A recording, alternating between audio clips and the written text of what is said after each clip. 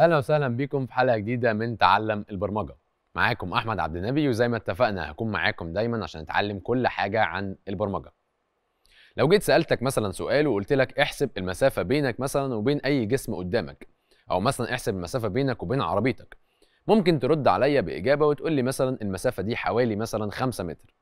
كلمة حوالي هي معناها إن الرقم اللي أنت قلته ده رقم تقريبي معنى كده إن أنت لو أنا عايز أسألك السؤال ده وترد عليا إجابة دقيقة جدا هتضطر إن أنت تدخل في بعض العمليات الحسابية اللي من خلالها تطلع لي نتيجة أو رقم معين وتقول لي والله المسافة بتاعتي 3 متر ونص بالظبط مثلا. ده اللي عمله بالظبط العالم فيثاغورس عالم الرياضيات.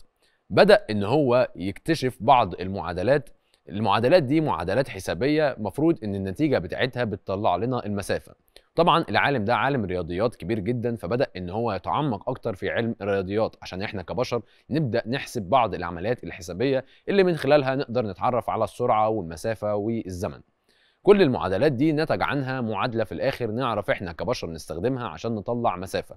ولكن مع مرور الزمن اكتشفنا سنة 1794 إن الخاصية دي موجودة في بعض الحيوانات موجودة مثلا في طائر زي الخفاش. تخيل إن الخفاش ممكن يكون حاسة البصر عنده منعدمة أو قليلة شوية ولكن هو بيعرف يحسب المسافة بينه وبين أي جسم حواليه باستخدام فكرة معينة عن طريق إن هو بيبعت بعض الموجات ولما يحصل ارتداد للموجات دي بيعرف يحسب المسافة بينه وبين أي جسم حواليه. مع تطور التكنولوجيا والبرمجة وظهور الروبوتس شغف الإنسان إن هو يطور روبوت يشتغل بشكل أوتوماتيك بدأ يزيد. فبالتالي حولنا الخاصية اللي موجودة في طائر زي الخفاش لسنسور معين يقدر إن الروبوت بتاعي يحسب المسافة بينه وبين أي جسم حواليه فبالتالي يقدر يحسب المسافة. ومن هنا زادت خواص الروبوتس بتاعتي وقدر كمان إن هو يتغلب على البشر. المعادلة اللي إحنا ممكن نقعد نحسبها كتير جدا عشان نطلع ناتج معين ورقم ممكن ناخد فيه دقايق ويمكن كمان ساعات الروبوت بيعمل ده في أجزاء من الثانية. وعشان نعرف ده أكتر ونعرف الروبوت بيعرف يعمل ده إزاي لازم نتابع الحلقة بتاعتنا ونكون مركزين كويس قوي عشان نعرف ال robots بتقدر إن هي تتعرف على البيئة اللي حواليها إزاي. تعالوا نشوف مع بعض إيه هو ال sensor بتاع حلقة النهارده ونتعرض أكتر على ال applications والتطبيقات اللي موجودة في حياتنا باستخدام ال robots. جاهزين؟ يلا بينا.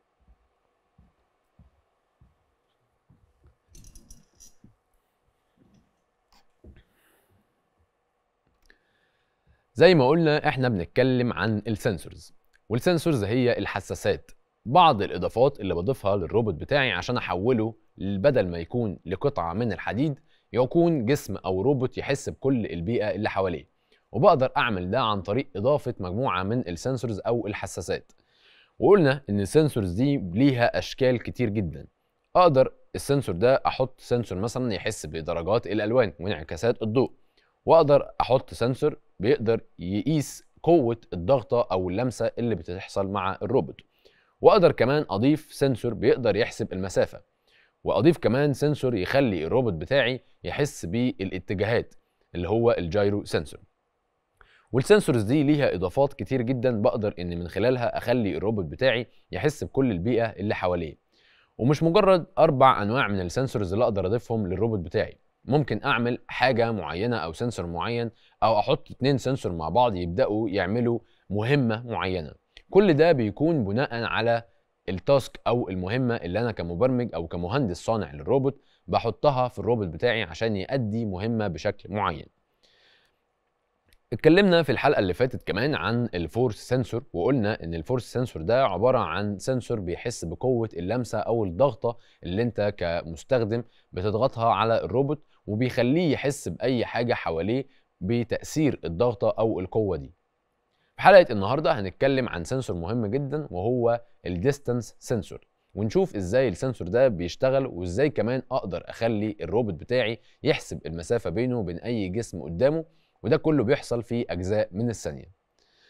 إحنا قلنا قبل كده إن ال sensors دي مستوحاة من الإنسان. يعني إحنا شفنا الإنسان بيقدر يستخدم حواسه إزاي وبناء عليه حولنا الحواس دي لمجموعة من السنسور.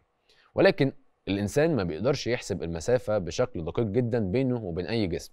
فبالتالي بيتطلب إن أنت تقعد كده تفكر في معادلة معينة عايز أحسب المسافة فممكن أستخدم ده باستخدام أكتر من طريقة. ممكن مثلا أجيب متر أو جاي قايس المسافة بيني ما بيني وما بين أي جسم تاني. كده أنا أعرف المسافة. ممكن مثلا أستخدم طريقة معينة للقياس. طيب لو أنا عايز أعمل ده بشكل أوتوماتيك كبشري هضطر إن أنا أدخل في معادلات حسابية كبيرة جدا. عايز مثلا أحسب السرعة وعايز أحسب الزمن وعايز أخش في بعض المعادلات ممكن تكون معقدة. فبالتالي المعادلات دي اللي يقدر يقوم بيها وبشكل سريع جدا هو الروبوت. وده كله يتحول لسنسور بيقدر إن هو يحسب المسافة. وعشان نعرف السنسور ده بيحسب المسافة إزاي مفروض إن إحنا نفهم فكرة عمله أو التقنية اللي المفروض بيبني, بيبني عليها فكرة قياس المسافة. وإحنا قلنا قبل كده إن في السنسور بتاعي بيحسب المسافة دي والفكرة دي مستوحاة من طائر الخفاش. الخفاش ما بيقدرش يشوف ويميز الأجسام اللي حواليه بشكل دقيق جدا ولكن يقدر يحسب المسافة. الخفاش بيكون عامل زي آه، طائر معين وهو طاير بيبدأ يبعت مجموعة من الموجات. الموجات دي مفروض لو هي ارتدت أو حصل ليها نوع من أنواع الارتداد بتبدا بعد كده ترجع لنفس الجسم أو مصدر الموجة اللي هو طائر الخفاش وعلى الأساس ده بيبدأ يحسب المسافة. طب إحنا عايزين نفهم الموضوع ده أكتر عامل إزاي؟ يعني إزاي أخدنا الفكرة دي من الخفاش وحطناها في سنسور؟ والسنسور ده ممكن يبقى صغير جدا لدرجة إن إحنا لو إحنا مثلا معانا خفاش كبير شوية مثلا وليكن الخفاش ده حجمه وطوله ممكن يكون كبير أنا حولت كل الكلام ده وحطيته في سنسور صغير ممكن يكون طوله في نفس طول الصباع بتاعنا. طب إزاي السنسور الصغير ده بيعمل نفس فكرة الخفاش بالظبط؟ تعالوا نشوف الخفاش أصلا بيعمل إيه وإزاي قدرنا نطور الفكرة دي ونعمل منها سنسور صغير نضيفه للروبوت ويقدر يحسب المسافة. عايز أوضح لكم الفكرة دي بشكل مبسط جدا فهفتح مثلا بينت ونبدأ نشوف مع بعض طريقة طيران الخفاش ذات نفسه عامل إزاي؟ لو أنا مثلا عندي حائط مثلا بالشكل ده وعندي الخفاش بتاعي وليكن مثلا هيبدأ إن هو يطير بشكل معين مثلا وليكن آه ليه ليه مثلا جناحات بشكل معين بالشكل ده أي رسمة شكل الخفاش. المفروض إن الخفاش بتاعي ما بيقدرش يشوف كويس ولكن عنده خاصية أو حاسة تانية وهي ارسال الموجات. والموجات دي بنسميها موجات ال ultrasonic أو ال ultrasound عبارة عن إيه؟ عبارة عن مجموعة من الدوائر كده لو إحنا تخيلنا مع بعض إن عندي في شبكة إرسال معينة موجودة في مكان. شبكة الإرسال دي بتكون حواليها مجموعة من الدوائر في نطاق معين. الدوائر دي بتكون هي الموجات. ده اللي بيحصل بالظبط مع الخفاش. الخفاش بيكون مصدر الموجات فبيبدأ يطلع منه مجموعة من الموجات وكل ما المدى بيبعد كل ما اتساع الموجة ده بيبدأ إن هو يكبر أكتر. لحد ما توصل للحيطة مثلا بالشكل ده. الموجة في الاتجاه اللي رايح للحيطة. مفروض إن لو الموجة بتاعتي لمست الحيطة يحصل نوع من أنواع الارتداد. فالموجة بتاعتي بدل ما كانت رايحة في اتجاه الحائط تبدأ ترتد في اتجاه معاكس بنفس الدرجة. ترتد في اتجاه معاكس لحد ما توصل للخفاش بتاعي. طيب أنا برضو ما فهمتش يعني هو بعت موجة لحائط معين أو لجسم معين ممكن يكون طاير في الغابة ففي شجرة قدامه فهو عاوز يعرف المسافة بينه وبينها إزاي عشان يغير المسار بتاعه فبالتالي ما يخبطش في الشجرة دي. هو بعت موجة والموجة دي بدأت تروح للشجرة أو للحائط. المفروض إن الموجة دي بيحصل ليها نوع من أنواع الارتداد. هنلاحظ ده بشكل كبير جدا لو أنت مثلا عندك مية وجيت المية دي بتحطها في إناء معين وحاطط إيدك مثلا في بداية الإناء وجيت حطيت المية بتاعتك فالمية دي هتبدأ مش هتنزل بشكل مباشر في الكوباية بتاعتك أو الإناء الكبير. نفس الفكرة بالظبط بتبدأ الموجة دي تروح لحائط أو لمكان معين ويحصل لها نوع من أنواع الارتداد فبالتالي مش هتقدر تعدي في الحيطة أو تعدي في الشجرة لأن هي حائط أو سد معين ويبدأ يحصل ليها نوع من أنواع الارتداد. طيب الخفاش عرف بقى المسافة إزاي؟ يعني قدر يميز المسافة إزاي؟ إحنا قلنا إن إحنا كبشر نقدر نحسب المسافة ولكن نقدر نحسبها يا إما بشكل يدوي إن أجيب وحدة قياس مثلا أو أداة معينة بتقيس زي المتر مثلا أو اني أخش بقى في معادلات حسابية. تخيلوا بقى إن الخفاش بيقدر يعمل العمليات الحسابية دي بكل سهولة. تقدر تقول لي إزاي؟ هقول لك أنا إزاي. في معادلة معينة المعادلة دي الخفاش بيقدر إن هو يعملها بكل سهولة. الخفاش ذات نفسه وهو طاير بيبقى عارف سرعته. زي بالظبط لو أنت راكب عربية معينة وعارف سرعتها. السرعة دي مثلا ممكن تبقى 80 كيلو في الساعة. الخفاش برضو عارف السرعة بتاعته. والسرعة دي بنقول عليها الفيلوسيتي اللي هي ممكن نعمل ليها رمز حرف الفي في معادلة حسابية بتقدر من خلالها تحسب السرعة. والسرعة دي بنقدر نقول عليها زي ما قلت لك من شوية سرعة 80 كيلو في الساعة. طب الكيلو ده وحدة قياس إيه؟ الكيلو وحدة قياس المسافة. ممكن تبقى كيلو أو تبقى بالمتر أو تبقى بالسنتي أو تبقى حتى بالملي وكيلو على آه لاقي كيلو متر في الساعة يعني الاتش كأنها اور كيلو متر والاتش كأنها اور فأنا بالنسبة لي الكيلو هي وحدة قياس المسافة. والاتش أو الاور هي وحدة قياس الوقت. معنى كده إن أقدر أقول إن السرعة بتاعتي أقدر أدخلها في معادلة حسابية وأقول إن ال V بتاعتي ال V بتاعتي عبارة عن إيه؟ عبارة عن المسافة اللي هي ال distance نقدر نعمل لها رمز ال D المسافة بتاعتي على الوقت. اللي هو ال time على ال T يطلع لي في الآخر ناتج إن أنا مثلا لو بحسب المسافة بالكيلو يبقى كيلو متر على اعملها إشارة ال slash زي ما عرفنا في البرمجة ال time اللي هو ممكن يكون بالساعة.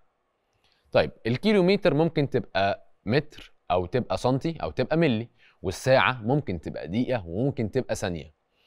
إيه المعلومات اللي أنا عارفها في المعادلة دي عشان أقدر أحققها؟ يعني أنا مثلا لو جيت قلت لك 2 في 2 بتساوي 4 طب لو جيت قلت لك 4 على 2 هتقول لي الناتج بتاعي 2 جميل جدا. نفس الفكرة بالظبط.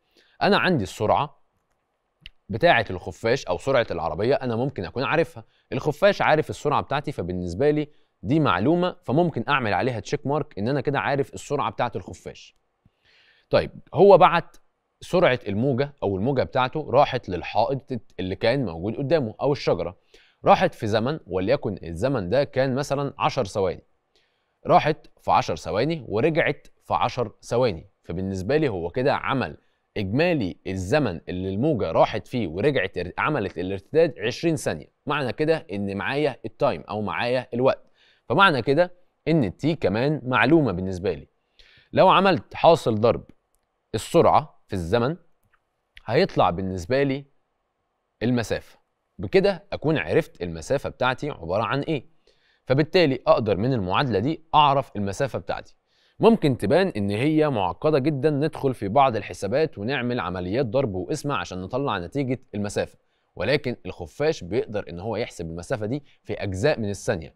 بيبقى طاير وبيبعت على طول إشارات أو موجات اللي هي الألتراسونيك وبيبدأ الارتداد يحصل بشكل سريع جدا عشان من خلال كده يعرف يحسب المسافة بينه وبين أي جسم تاني. تخيل بقى إن نفس الفكرة دي بالظبط بنعملها في ال ultrasonic sensor. ال ultrasonic sensor بيبدأ يبعت موجات لحائط معين أو لأي عائق موجود قدام الروبوت. لو العائق ده وليكن أنا برمجت الروبوت بتاعي إن لو موجود عائق على بعد 10 سم يبدأ إن هو يقف. أنا كده اديت له معلومة المسافة. ولكن هو لسه ما يعرفش المسافة دي عبارة عن إيه. فلما أجي أحركه هلاقي إن ال ultrasonic sensor موجود ليه عينين بشكل معين زي الروبوت اللي موجود معايا دلوقتي. الروبوت ده موجود فيه ultrasonic sensor. وال ultrasonic sensor بيبان كأنه هو عينين الروبوت. عندي فيه العين اليمين والعين الشمال. نفس الفكرة دي بالظبط. عين بتبدأ تبعت إشارة أو موجة معينة اللي هي ال ultrasonic wave والعين التانية بتبدأ تستقبل الموجة بتاعتي دي لو في إيه؟ لو في عائق. طب لو مفيش عائق الموجة بتفضل مكملة لحد المدى بتاعها.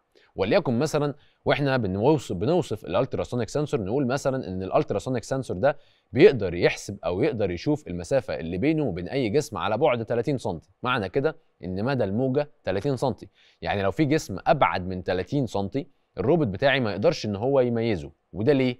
لأن الارتداد اللي بيحصل من الموجة ذات نفسها ما حصلش لأن الموجة بتاعتي خلصت عند 30 سم ولكن لو جسم أقرب شوية زي الحيطة اللي موجودة وأبدأ أبعت ال wave أو الموجة بتاعتي وحاطط الحيطة أو ال object بتاعي أو الجسم ده على بعد وليكن 15 سم الموجة هتبدأ تروح في زمن معين وليكن مثلا تروح في ثانية تخبط في الحائط في الحائط أو الجسم اللي موجود قدام الروبوت ويحصل نوع من أنواع الارتداد. عشان إيه؟ عشان هي داخل المدى بتاع الموجة بتاعتي. لما يحصل ارتداد العين التانية اللي هي اسمها الريسيفر هتبدأ تستقبل الموجة بتاعتي. كده أنا معايا سرعة الموجة. كده كده السنسور عارف الموجة بتاعته عبارة عن إيه وسرعتها عاملة إزاي. ومعايا كمان الوقت الوقت اللي راحت فيه الموجة وحصل ليها ارتداد ورجعت للعين اللي بتعمل ريسيف أو بتستقبل الموجة الثانية بناء عليه السنسور بيحسب عن طريق المعادلة اللي إحنا اتفقنا عليها بيحسب السرعة والمسافة. هو عارف سرعة الموجة وعارف الوقت يقدر من خلال المعادلة دي يحسب المسافة بكل سهولة. فلو أنا قلت له كمبرمج دلوقتي لو عندك جسم معين على بعد 15 سم ابدأ اقف. فهو هيفضل ماشي والموجة هتفضل شغالة وكل اللي إحنا بنقوله ده بيحصل في أجزاء من الثانية. وأول ما تحس الموجة ويحصل ارتداد على بعد مثلا 15 سم أو 10 سم يبدأ الروبوت بتاعي يقف وما يحصلش أي أكشن معين. وعلى حسب ما أنا مبرمجه ممكن مثلا أقول له لو في عائق معين ابدأ ارجع لورا أو ادخل يمين أو غير اتجاه مسارك بحيث إن أنت ما تخبطش في أي آه، حائط أو أي عائق موجود قدام الروبوت. وده بيخلينا نجاوب على سؤال مهم جدا وهو استخدامات السنسور ده استخدامه عامل إيه بالظبط؟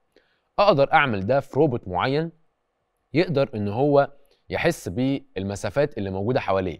تخيل معايا إن أنت معاك مثلا روبوت ودخلته في متاهة معينة وعايز يخليه الروبوت بتاعي يبدأ من نقطة بداية ويحل المتاهة بتاعتي عشان يخرج منها بسلام.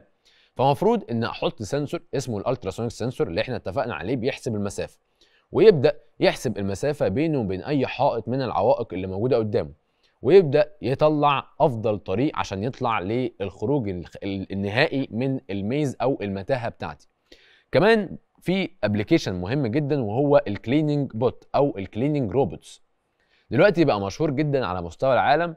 روبوت كده على شكل دايرية بتبدأ تحطه في البيت ويبدأ إن هو يكنس الأرض أو يمسحها. طيب الروبوت ده ما سألتش نفسك بيقدر يحسب المسافة بينه وبين أي جسم حواليه إزاي؟ يعني إيه اللي يخلي الروبوت ده مثلا ما يخبطش في الحيطة؟ أو إن هو يكون عارف أصلا إن دي حدود الحيطة بتاعتي. بيقدر يعمل ده بكل سهولة باستخدام الألتراسونيك سنسور. بيبدأ يبعت موجات والموجات دي مش شرط تكون في اتجاه معين ممكن يبدأ يبعت الموجات دي في كل الاتجاهات عشان يقدر يحسب المسافة.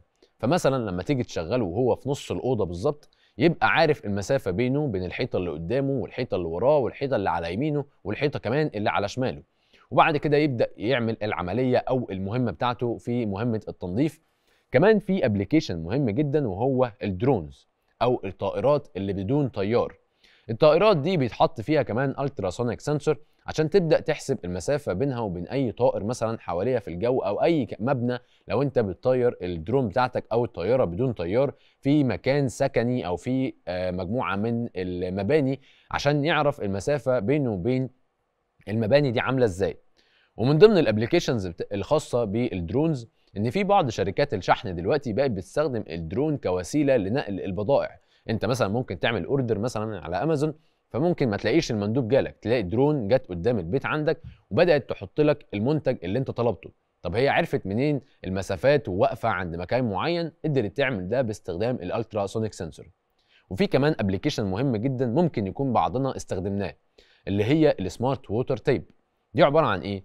ممكن نلاقي في بعض الأماكن لو أنت دخلت مثلا وعايز تغسل إيدك بتحط إيدك تحت الحنفية وتبدأ تنزل المية. الحنفية دي ما بيكونش ليها مثلا مقبض معين عشان تبدأ تفتح المية منه أو أو إن أنت تخلي المية تقفل أو تفتح. ولكن بمجرد ما بتحط الإيد بتاعتك بتبدأ المية تنزل. ده بيحصل باستخدام ال ultrasonic sensor sensor بيحسب المسافة مثلا من الحنفية للإيد أو الشخص اللي هيمد إيده وبناء عليه بتبدأ تشغل المية. ولو أنت بعدت إيدك عن الحنفية بتبدأ المية تقف وقتها. ده كله بيحصل باستخدام ال distance sensor أو ال ultrasonic sensor. وحساب المسافة ذات نفسه بيبدأ يدخل في معادلات صعبة جدا ما بنقدرش نعملها كبشر أو نقدر نعملها ولكن في وقت كتير. فال ultrasonic sensor أو ال distance sensor وفر علينا وقت كتير جدا إن إحنا نضيفه لل robots. وطبعا قدروا عن طريق ال ultrasonic sensor يحطوا ال robots دي في بعض المصانع عشان تزود الإنتاج أو إن هي تحسب المسافة بينها وبين كل الأجسام اللي موجودة مثلا على خط الإنتاج. فبالتالي عمل حاجة اسمها mass production أو عمل إنتاجية عالية وفي نفس الوقت طلع جودة أفضل عن طريق ال ultrasonic sensor أو عن طريق استخدام ال robots عموما في خطوط الإنتاج.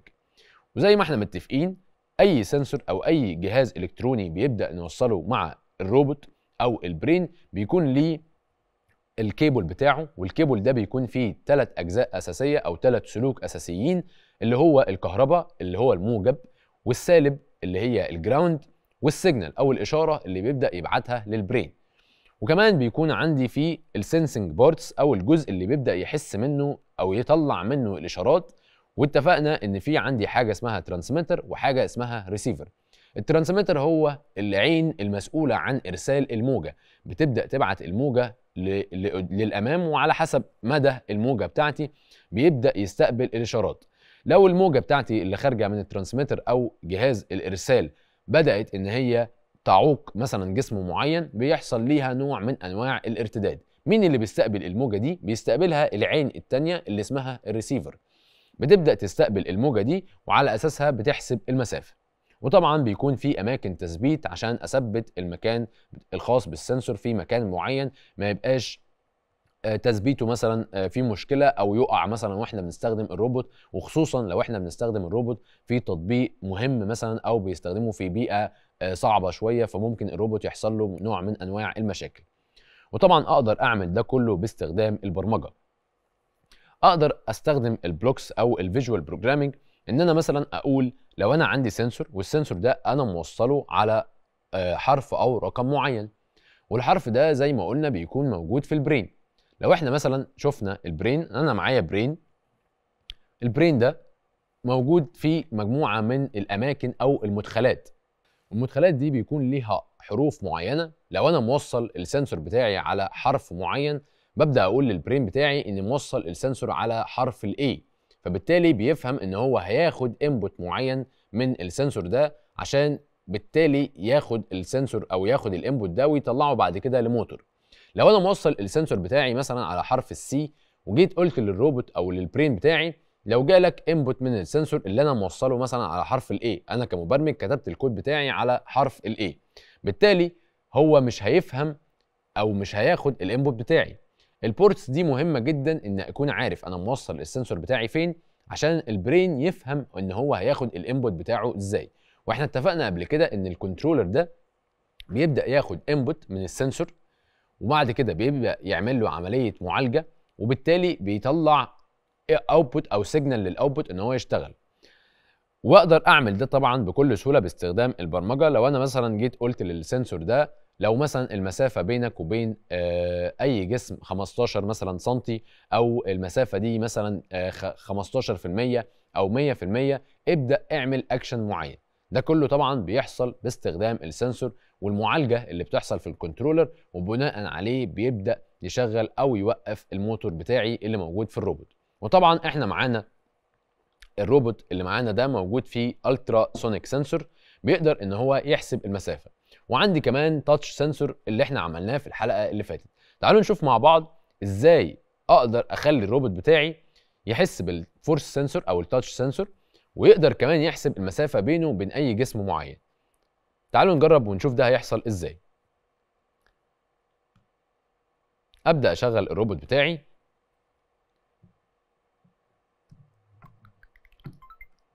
تمام جدا شغلته. وممكن أحطه بعيد شوية.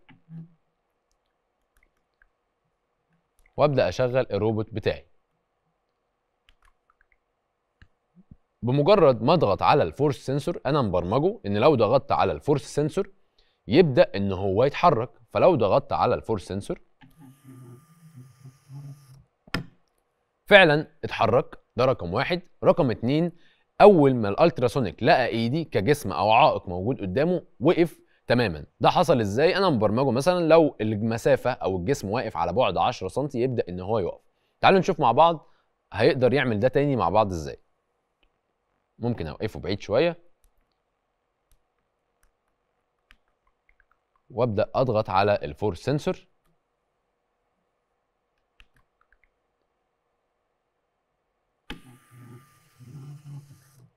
فعلا وقف لما لقى جسم قدامه. طبعا الحركة اللي الروبوت بتاعي عملها قدر إن هو يعملها عن طريق حساب المسافة وعن طريق البرمجة اللي أنا اديتها له كمبرمج. كل ده أقدر أعمله باستخدام ال ultrasonic. ومش بس كده أنا ممكن كمان أحط في الروبوت بتاعي مجموعة من ال sensors وأبدأ أبرمجها بشكل معين. وزي ما إحنا شفنا عندي force sensor وقدرت إن أدي signal معين لل brain عشان يبدأ يخلي الروبوت بتاعي يشتغل. وبعد كده ال ultrasonic قدر إن هو يحسب بعض المسافات عشان يعرف إذا كان في جسم قدامه ولا لأ. وأنا كنت مديله أمر ان هو يقف. كل الحاجات دي أقدر استخدم ال sensors فيها واقدر اخلي الروبوت بتاعي يحس بالبيئة اللي حواليه بشكل أكتر. وطبعا ال robots موجودة في العالم حوالينا فلازم نتعلم كل حاجة عن ال robots. عشان كده بنحاول إن إحنا نفسر كل حاجة موجودة في ال robots وكمان نجربها عشان نتعلم أكتر عن ال robots ونواكب عصور التكنولوجيا ونكون مبرمجين فاهمين وقادرين نطور أشكال من مختلفة من ال robots عن طريق البرمجة. أتمنى إن أنتوا تكونوا استفدتوا واستنونا في حلقات جاية كتير عشان نتكلم أكتر عن ال robots وتطبيقاتها في حياتنا العملية. أتمنى لكم التوفيق دايما وأشوفكم على خير. مع السلامة.